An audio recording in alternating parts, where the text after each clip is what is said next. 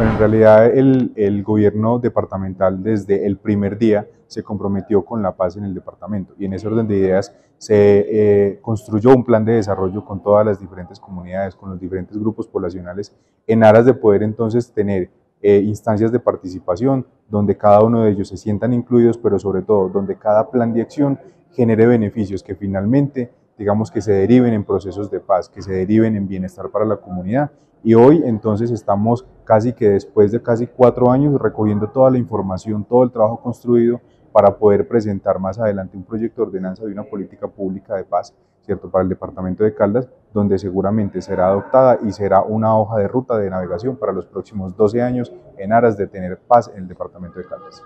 Lo vemos con muy buenos ojos, la política de paz del gobierno nacional en la lógica de una Colombia potencia mundial para la vida es justamente eso,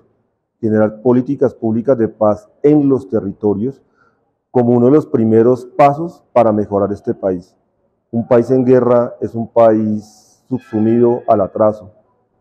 Y cuando llegamos a la administración, lo que buscábamos era dignificar la vida, que es lo que más se ha perdido.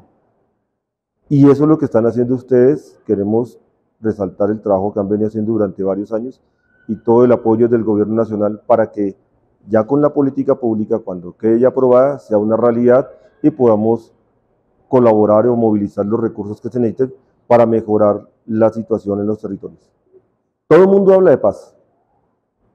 pero pocos le invierten de verdad a la paz. Y la paz es justicia social, la paz es reducir esas brechas entre unos que tienen todo y los que no tienen nada, mejorar los espacios democráticos para el pensamiento, que las armas se silencien y se potencien los colegios y las universidades. Y creo que esta política de paz que tienen ustedes tiene esos elementos. Por tanto, vemos supremamente importante porque ya cuando tengo una política de paz se vuelve concreción, se vuelve realidad. Y esa es la única forma que en nuestros territorios podemos alcanzar unos escenarios óptimos para mejorar un país y que Colombia sea una potencia mundial para la vida todo el apoyo.